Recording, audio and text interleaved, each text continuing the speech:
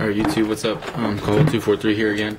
Um, if you guys watched my uh, 2011 um, Platinum break, uh, first hit was this uh, redemption card of um, Titus Young. It was the Auto Green Refractor Jumbo Rookie Patch.